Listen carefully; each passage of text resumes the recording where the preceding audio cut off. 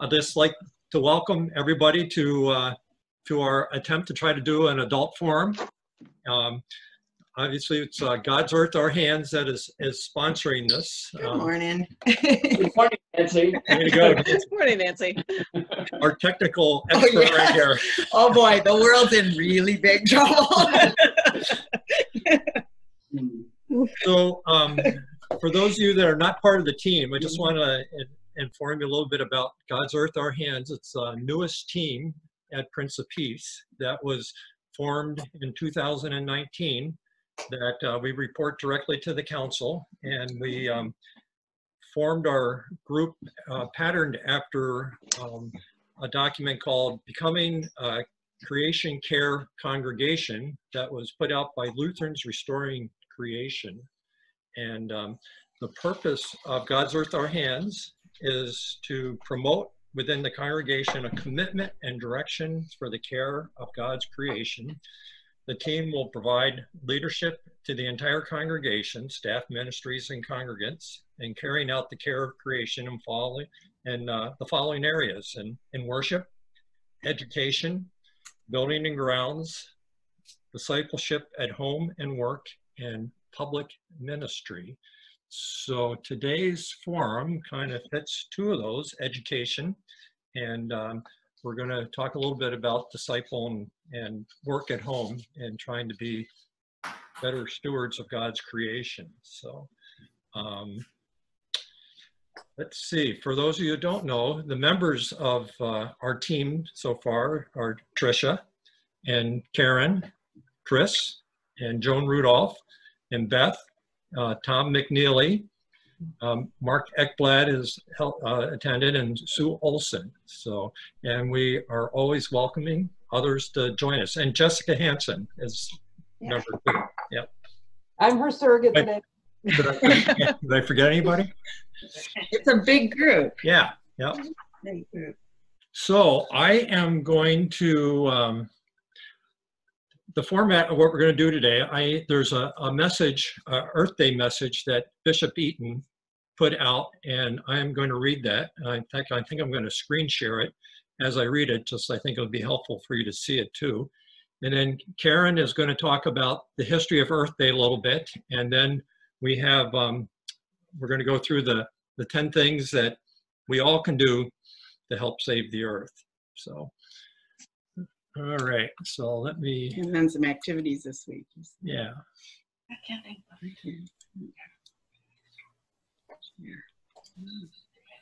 There you go. Eric, can you all see that? Yeah. Yes. Okay, so I am, I'm just going to read what the bishop has to say to us. So she starts off with a, um, an excerpt from the ELCA social statement, Caring for Creation.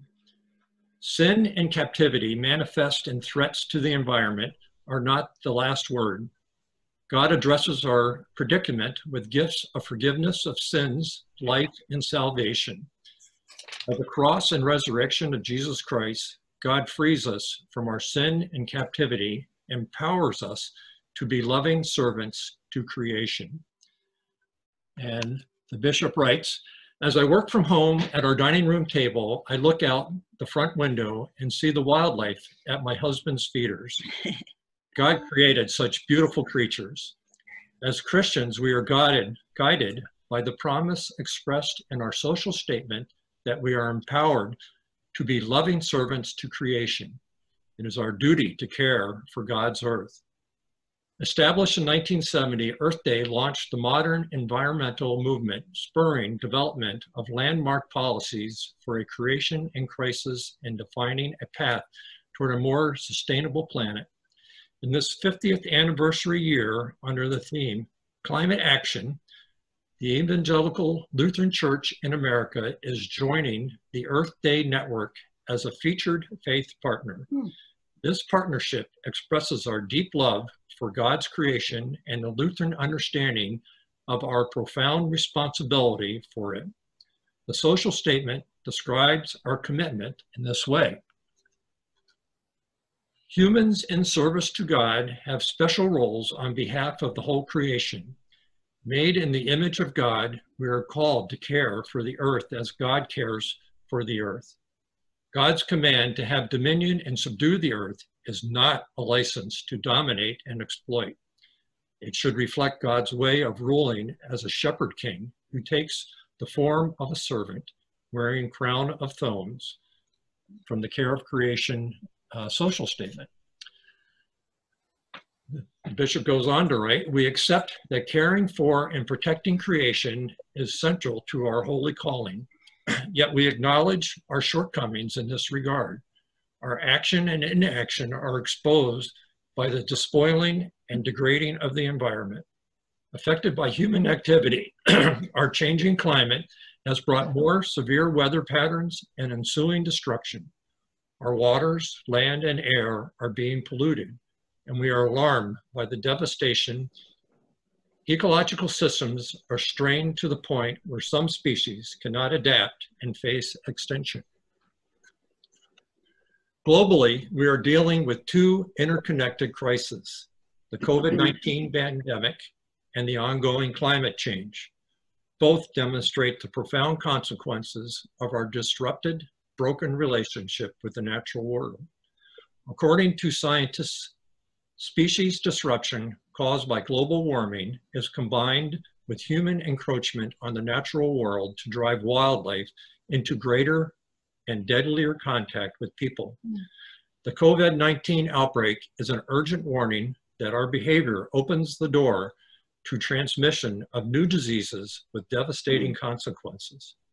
Wow. Our, our distorted relationship with the earth is borne most heavily by the most vulnerable and marginalized among us who are ill-equipped to withstand the impact of climate change or implement remedies. COVID-19 and the climate crisis heighten the existing racial inequity, economic disparity, and social injustices. Our call to care for creation is also a call to right these wrongs. As Earth Day partners and stewards with creation, we have many ways to lovingly serve the earth. And she lists about seven different um, websites that you can go to to um, take some action and things that you can do. That's good. Not quite that far. So looking past the anniversary, we gladly accept the monumental assignment of refocusing and renewing and raising our efforts as we embrace our role as stewards of creation and look with hope and promise toward years to come. And she ends with a prayer, and so let us pray. Prepare us, Lord, for what lies ahead.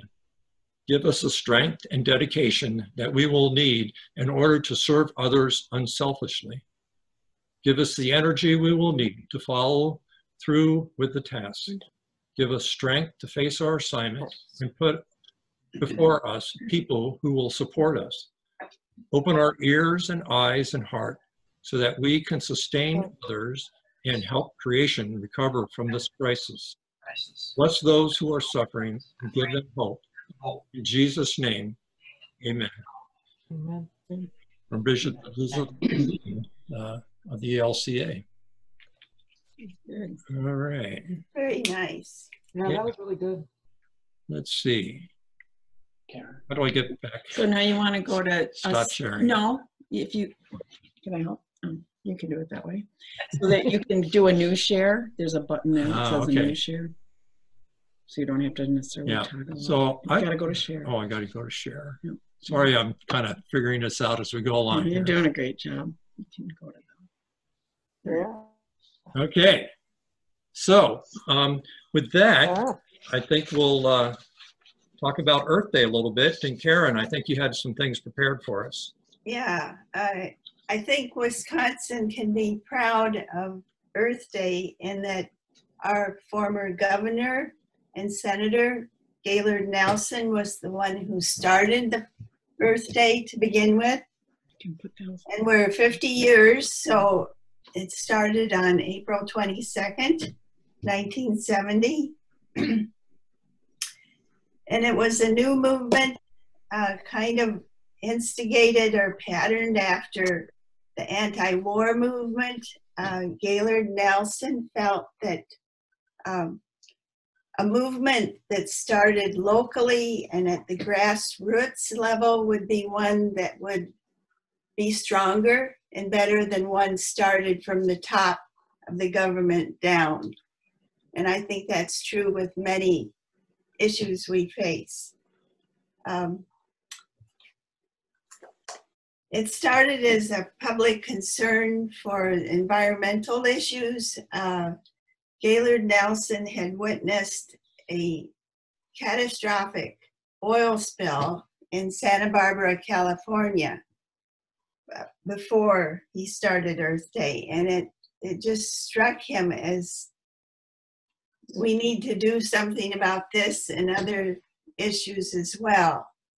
Um, in 1962, uh, a woman, Rachel Carson, wrote a book called Silent Spring, having to do with um,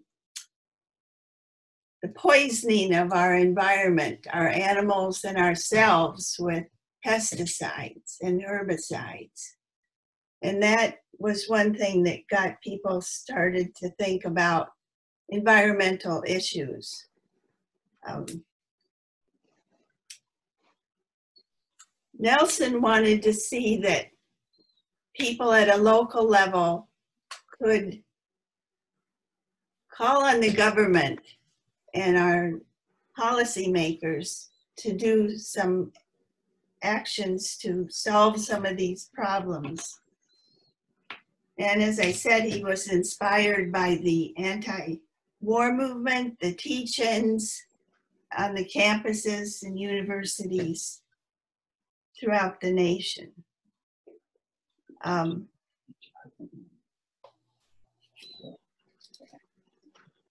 the first Earth Day, uh, which was in April on April 22nd, actually they estimated 20 million people participated in that, which was far beyond their dreams. And that included people of in colleges, universities, schools, but it also included labor union people, people of various political persuasions, uh, scientists, uh, old and young. So it it pulled people in from all directions. Um, it kind of organized itself, actually. Um, it just took off and has continued. By 1990, we had 184 countries throughout the world Hmm. um, acknowledging and participating in Earth Day. Yes, I'll put that on. So it gave a voice and an educational outlet to people throughout our nation and throughout the world. Uh, let's see. There's anyone have something to add to that?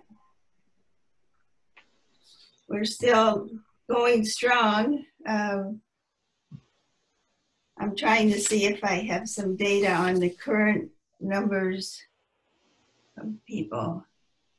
It really is terrific to know it started in Wisconsin. Yes, I think we can be proud of that. Uh, Gaylord Nelson was known as the conservation governor, so he was into this field before he became a senator. But Mhm. um, as people saw the need for this, they were drawn in.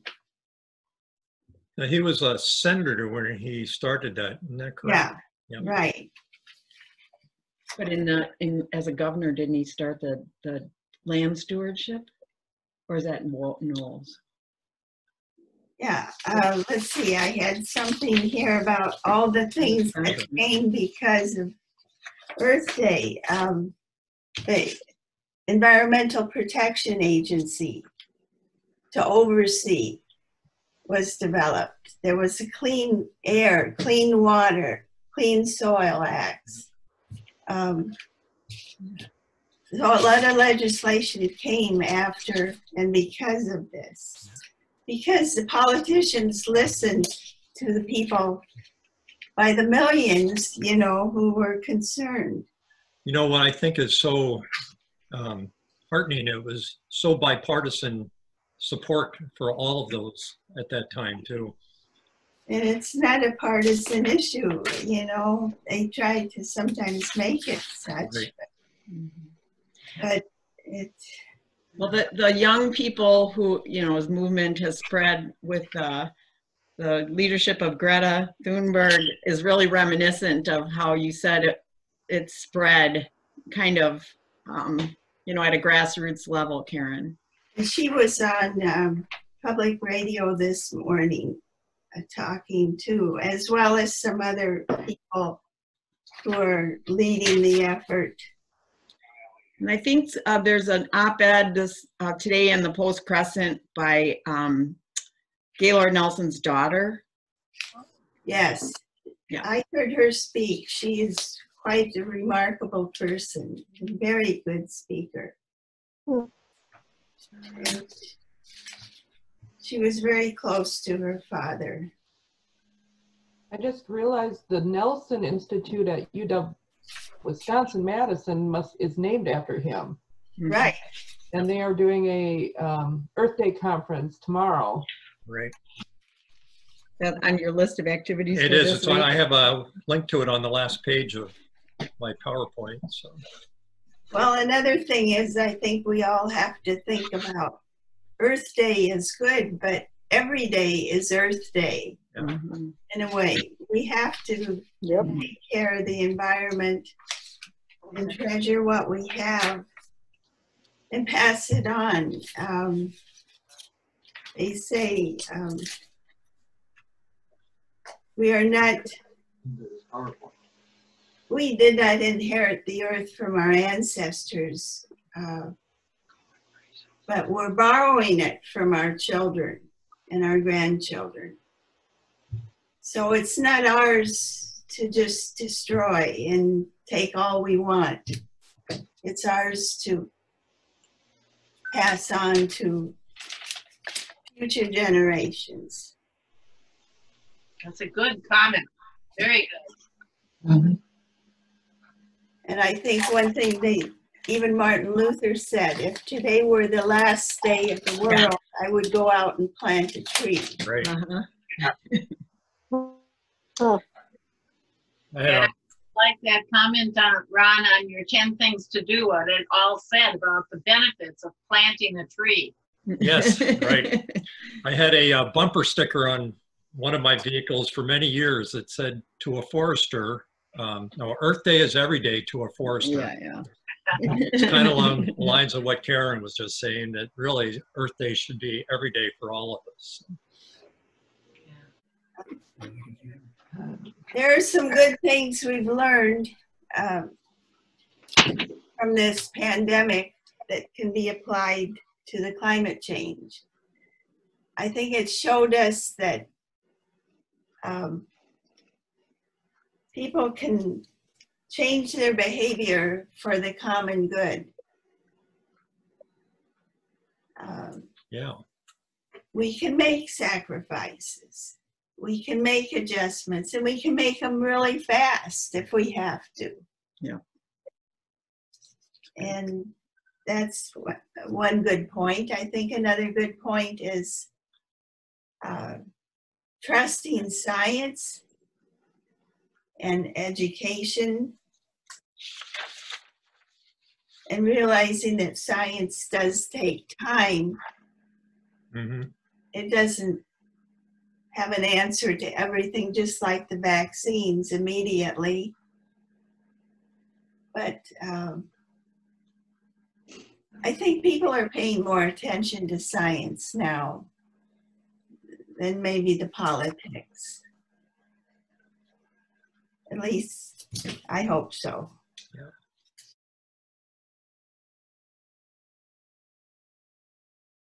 So over the last year, um, I've kind of gone into panic mode about climate change and um, started getting involved with some organizations and thinking, well, really what I do individually is I, I got to work on it from a governmental and institutional and business perspective to really affect some change that needs to be made immediately. But I have been reminded since being on this team that yes, indeed, what we each do individually makes a difference. And so we thought we would provide these 10 things that um, was put together to uh, try to make, you know, that kind of challenge each of us to make um, some changes in our own lives to help save the earth. So uh, I'm going to go through all 10, but I'd really like this to be a discussion. So we will um, um, to start. So the, the first thing is um, conserving water. And little things make a difference, you know, like turning off the water when you're brushing your teeth, which hopefully all of us are doing. Or if you have a leaky faucet, you know, a leaky faucet can lose up to 90 gallons of water per day. Yeah, One I added was uh, water the lawn less. No, you don't, um, and that translates to mowing less. So it's kind of a win-win where we're not creating that air pollution from mowing our lawn because it's not growing as fast. So. um, I don't ever mow, I don't ever water my lawn. Do other people water water their mine. lawn? Yeah. yeah. I never do. Um, Any other ideas about conserving water or things that you are doing at home? Well, now that we are washing our hands for 20 seconds, uh, you put the soap on, turn off the water.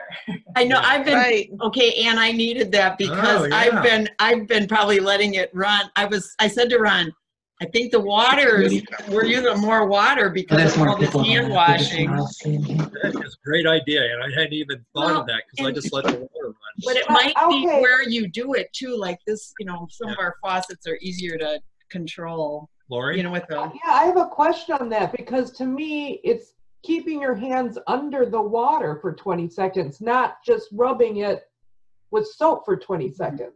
Oh, I thought it Well, was it's- rubbing it with soap a- for 20 seconds. Yeah, because if you're under the water, you're rinsing off the soap. Yeah, well, I didn't think soap was the issue. I thought it was getting the germs off your hands for 20 seconds with running water. So my understanding is the virus is covered with a, a fat, and the soap, lipid, yeah. Great. no, it's a lipid. So the soap destroys the lipid, the fat. So it's the soap actually that kills the virus. I want to hear Karen's word. Go ahead, Karen. You're the biologist here.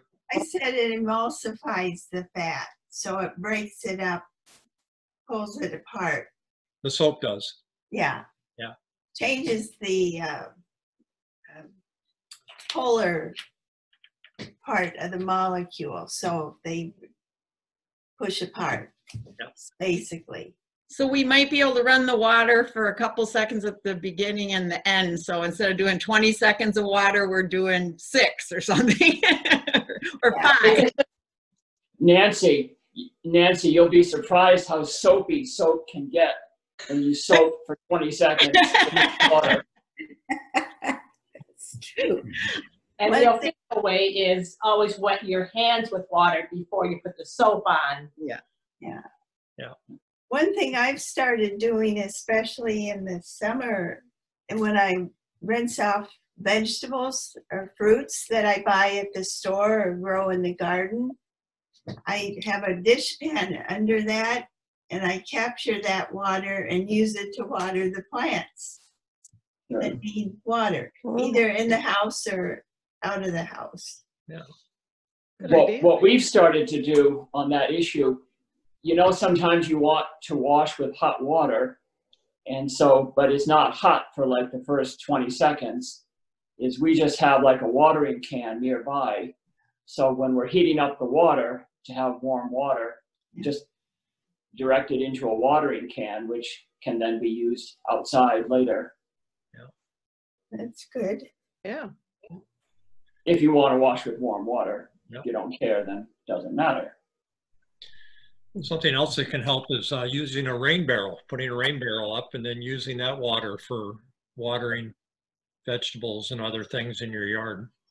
So you're not using the tap water and it's not running down the street and picking up pollutants and running into the, the river, so. Yeah, one, and the other thing that I think, I mean, we don't have a rain barrel. We've talked about it enough times. We haven't, but using native plants too is a way to, um, you get a lot of different benefits with that. But the, one of the big benefits is that they're adapted to our climate and so they take, typically take less water than, um, things that are not native in our area. Another thing I think we can do is don't run your dishwasher or your laundry machine until you have a full load. Yeah. Unless you gotta get it done, Right. but you can condense those. Mm-hmm. I kind of noticed where I live that a lot of people, because I've they're elderly, more el- they're more they're older than I am, and I, and they do a lot more laundry. It seems like, and I think part of that is it's kind of this is one of the few things they can control in life right now. Oh. That, but I sure agree with just doing it when you have a full load. But yeah, Well, when you buy your appliance too, it can make a difference. When we bought a front loader, they said it used, um, I don't know, less soap and less water. Yeah, So, and it adjusts to the size of the load, so it's pretty minimal water usage. Other ideas? a front loader is a bit more. of a- Yeah, the front, a front loading machine uses less water. At least the one we have. Okay. Do we remember our brand? I I might have to go look. What is Sears? No, no, we bought it from Hirsch. Oh, yeah. That was the first one from Sears. Yeah. So, Another thing kind of tied with the wash machine is the dryer. If we could hang things outside instead of always using the dryer, that would save some electricity. right, Mm-hmm. Or gas, whichever you're using, right? yeah. Uh, Right. So this is- Yesterday, yesterday's wind uh, made putting clothes out on the dryer, it was fresh air. And in about 25 minutes, our clothes were dry Wow. Nice. yesterday. Mhm. This is We almost lost a couple of clothes in the wind. So, um, number two, be car conscious. So if you stay off the road two days a week throughout the whole year, you can reduce emissions by about 1,600 pounds of carbon dioxide, that is, I believe, a year.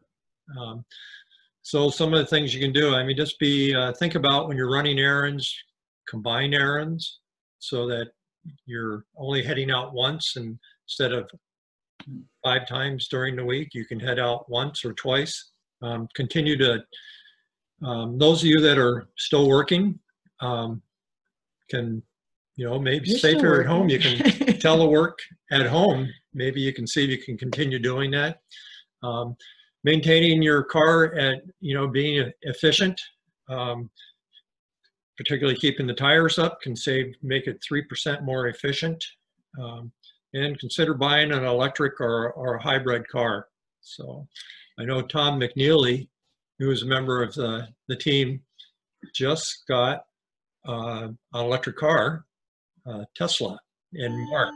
So he, and part of our uh, initial plans was that Tom was going to give people a, a little ride in his car as part of Earth Day, but uh, obviously that's not happening today. So He's convinced that you can find good deals on used electric cars too. So I, I know he's shared that before.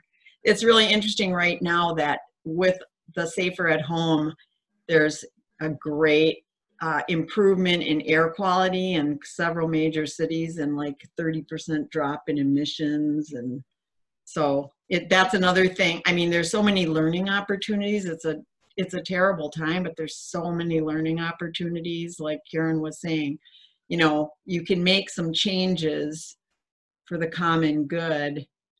Um, you know, everybody's out walking more. Maybe, maybe Ron, I'll actually get ourselves to walk to Prince of Peace one of these days. We've ridden our bikes a few Yeah. times, but you know, we it would be good for us and it would be good for the planet. Any other ideas, thoughts? We have a daughter who lives in the Boston area and one of the last phone calls we had with her, she said, the Boston streets are empty. People use them for walking here in Boston and they're empty.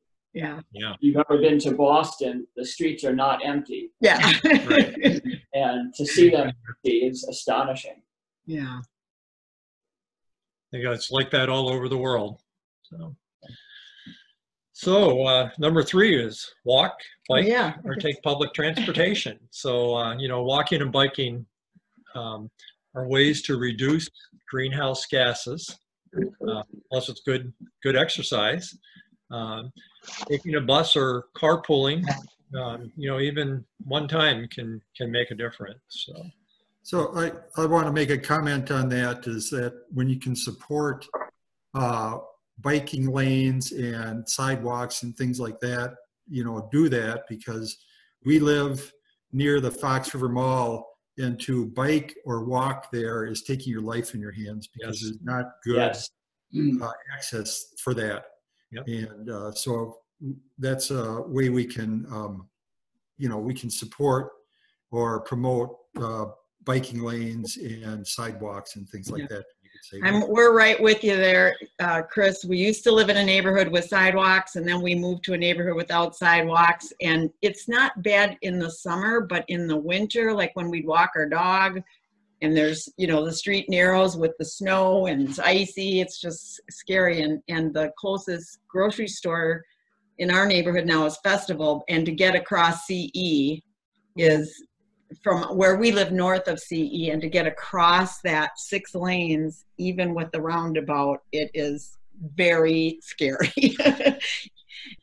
I you got- find it you gotta anyway. you got to pick the right time of day to try to do it. so. it's it's not pedestrian and bike friendly. But I can imagine trying to get over the Fox River Mall from where you are. yeah, yeah.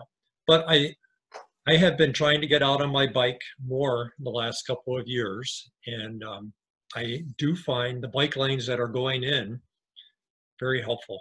So, yeah. And I, I think there is um, a pretty strong movement to try to keep that going in the Fox Valley, at least in Appleton. I don't know about Grand Chute.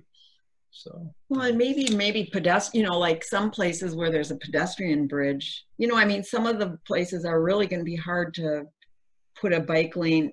You know what I mean? The speed of the traffic on certain, you know, like on CE, that's 40 or 45 there, isn't it?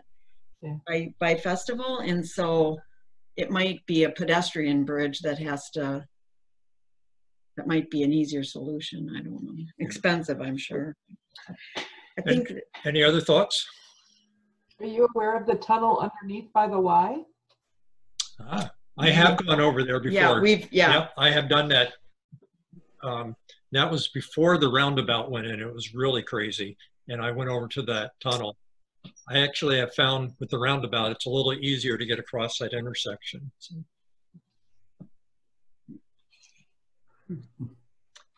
Number I'd get four. extra exercise if I went all the way over the tunnel. There you go. Good idea, Lori. I could use it. Reduce, reuse, and recycle. So reduce, use uh, less single-use products like paper products, paper plates, paper bags, use single-use plastic bags, and even utensils. Um, use more reusable products um, like food storage containers. I know Nancy has a friend that when she goes out to a more of a fast food restaurant, brings along her own utensils, so she's not using the, the plastic utensils. Old high school friend, right? Um, People do that with their coffee or drinks too. They bring their own mug. Oh, yeah, yeah. Yeah, we do that when we're Yep, I- traveling. I try to do that, right. And um, recycle, keep all materials that can be recycled out of the garbage. So um, that's, There's been discouraging uh, publicity lately about how little of our plastic is actually getting recycled. So if you can reduce the plastic, I think that's. Uh, We need to do plastic surgery, don't we? Cut it out. yeah.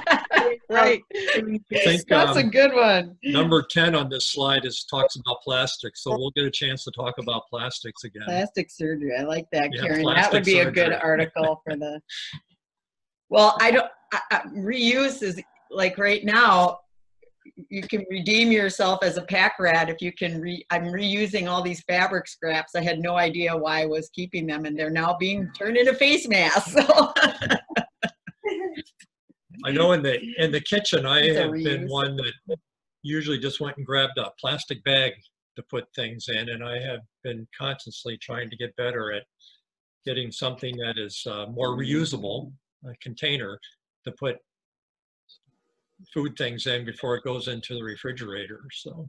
You can buy little uh, wax paper bags that have a little strip you pull off and sticky hold over to close it.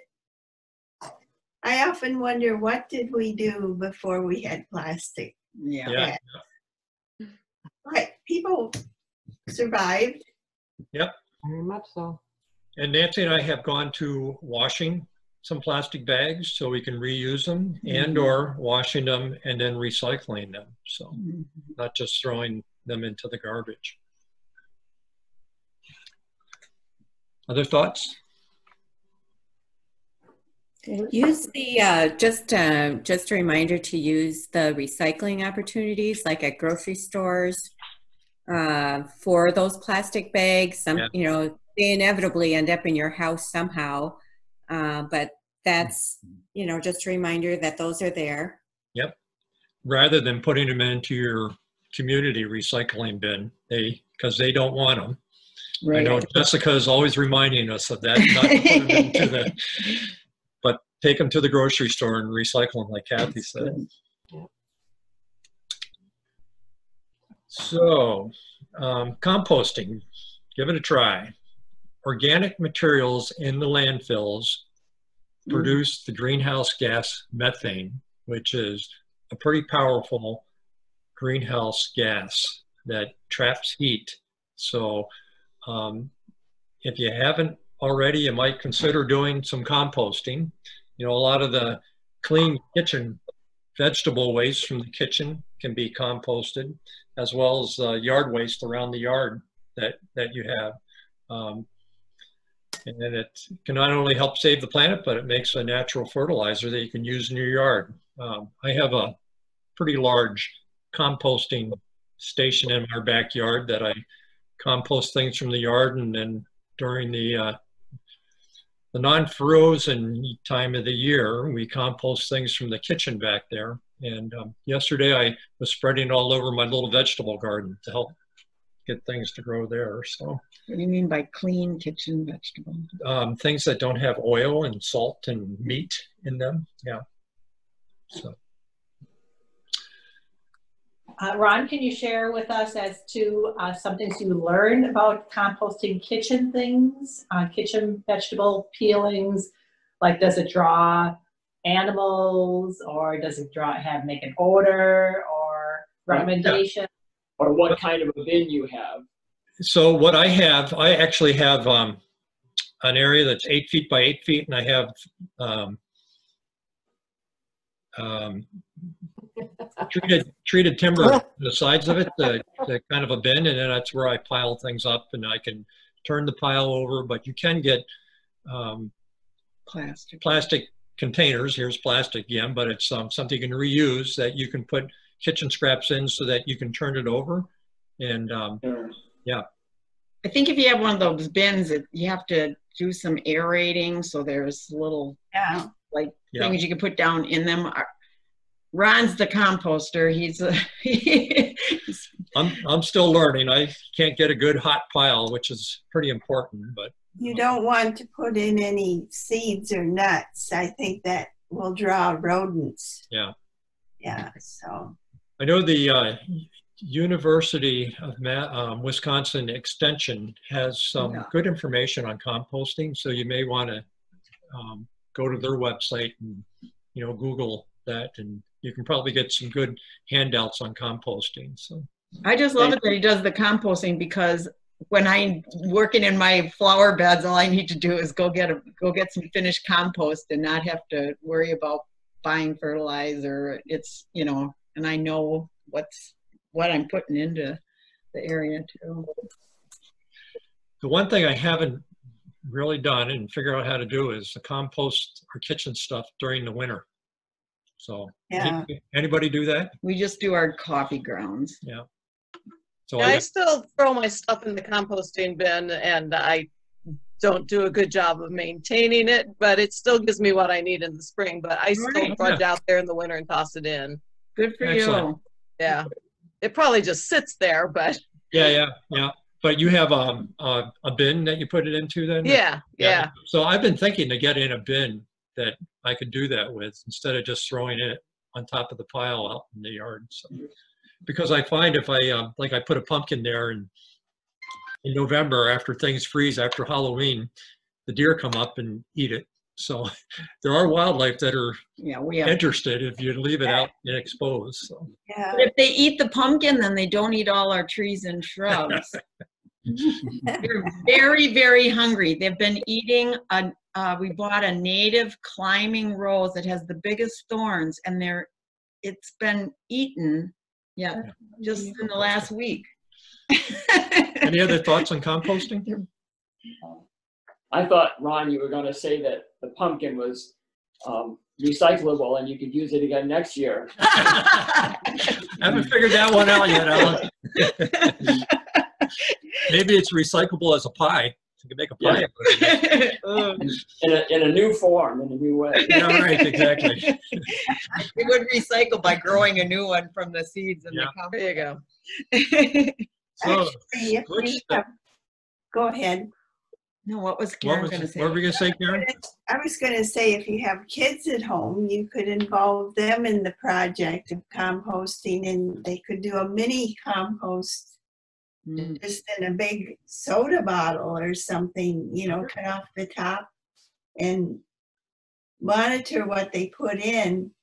And you can actually weigh worms and they'll gain weight with time eating this stuff. Huh. and they'll reproduce too, you know, so Yeah, anyway, you can involve children in this yeah, Great idea. activity, or grandchildren. yeah.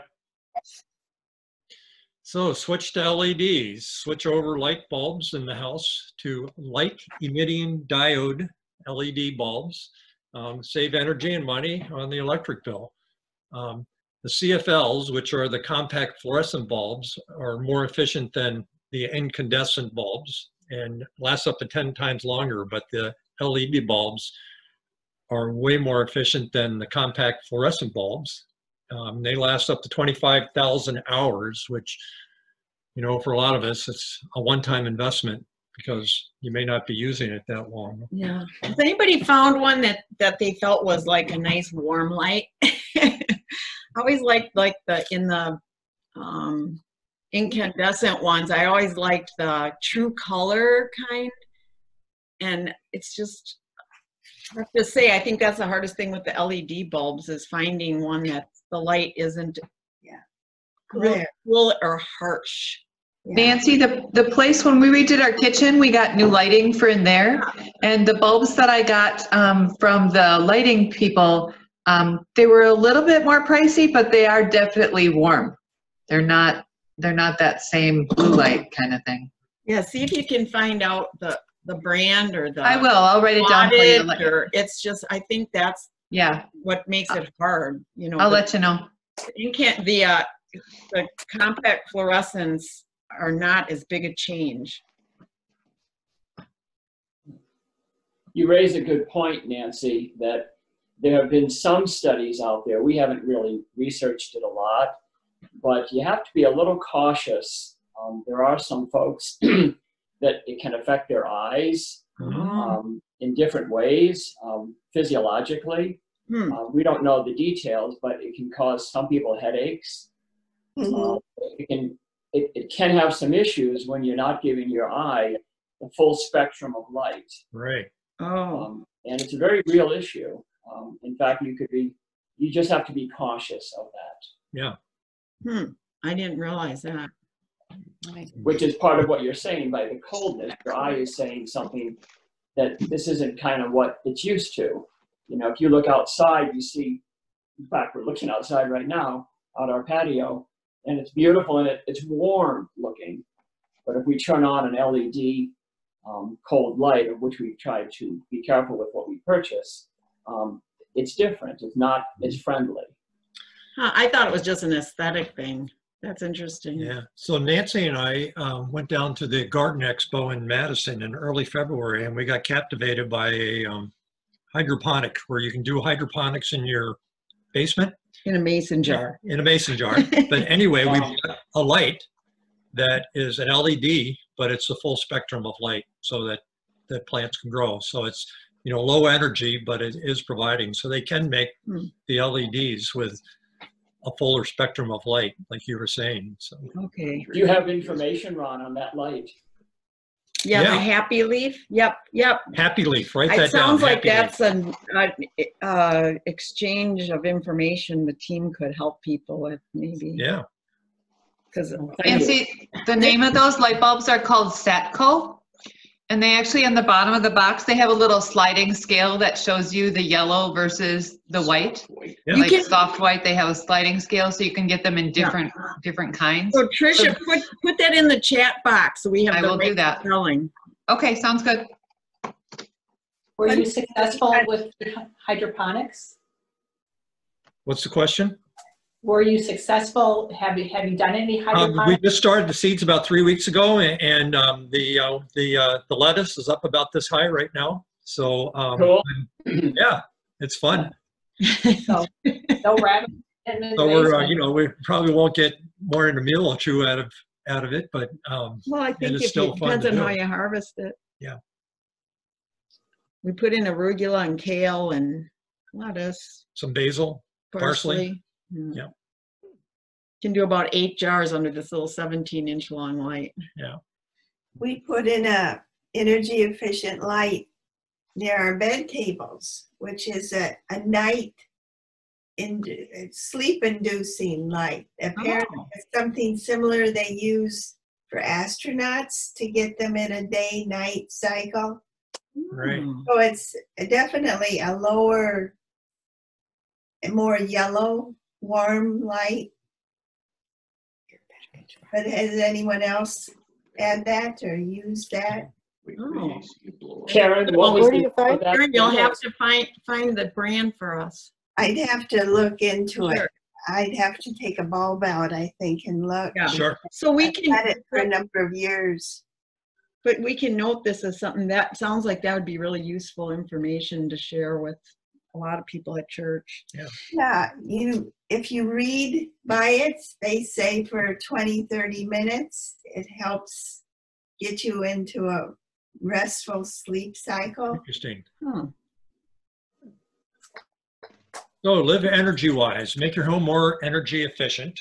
Um, windows are responsible for 25 to 35% of home heat loss, which I didn't realize it was that much. We got pretty old windows in our house. Yeah. Um, so consider replacing. Uh, proper insulation obviously adds more in, uh, as, as needed, increases the R value, which is the insulation value. Um, tuning up your heating and air conditioning can make it more um, efficient. Putting in a programmable thermostat obviously saves, can save energy by um, automatically reducing the uh, the energy needs of the house. So, any thoughts on that? Things people are doing? Mm-hmm. for the most part, what we find ourselves doing, and of course we love the out of doors, but we just turn the heater off at night. And the lowest we've gotten down to is about 54, 53 uh, the next day. And it's kind of funny. About a year ago, we were reading an article that said that was trying to encourage people to turn it down to 64. Yeah. Right. And that's our starting point. Yeah. yeah. But it, it's kind of interesting that if we turn it off on a cold, cold winter day, it only gets down to maybe 54, 55. Yeah. Yeah. And so it's a little chilly, but then you work it, you know, then you turn it on in the morning and you're good to go. Uh, if you like breathing cool, refreshing uh, air, Well, we have our heat go down to 58 at night, I believe. So, that's the usual temperature that it drops to. But on a cold, cold night, it drops Yeah. lower. Yeah. But then, here's a question then. I've always wondered about that because I'm wondering then, when you turn it on in the morning, is it just on for longer to Yeah. heat the house back up again? So are you defeating the whole purpose? No, That's a question. I don't know the answer. No, It's be- very if you think about it, when you think about how much heat is lost out of your home, um, what we find is that we can restore the heat in the home um, about every 10 minutes, it goes up a degree. So within an hour, we're up six degrees. And Ron, you were saying it drops to 58. So we're back up to 64, 65 in, in less than an hour.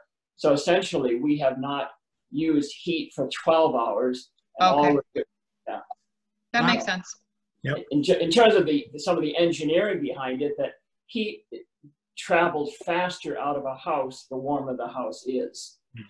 Oh, So in really? other words, so the heat it's it's a it's a simple e- graph if you look at it. Huh. And so if, if you have your house at 80, you're gonna lose way way more than if it's at 75, Oh, but way way more uh, those five degrees compared to 75 and 70.